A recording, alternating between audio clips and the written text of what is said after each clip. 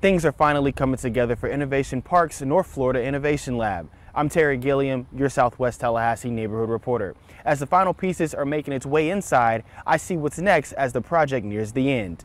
Putting the final bow on the long-awaited Innovation Park project. North Florida's Innovation Lab is set to open this year and the final pieces are being added.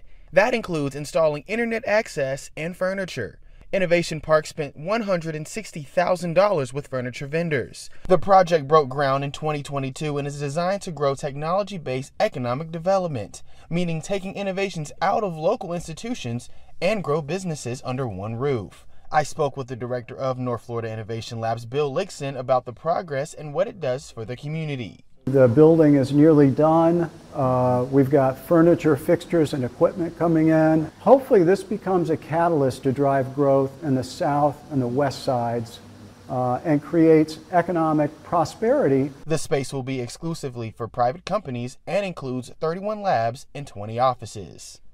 The labs are expected to give the community an economic boost. Innovation Park is promising more than 600 permanent full-time jobs. In Southwest Tallahassee, Terry Gilliam, ABC 27.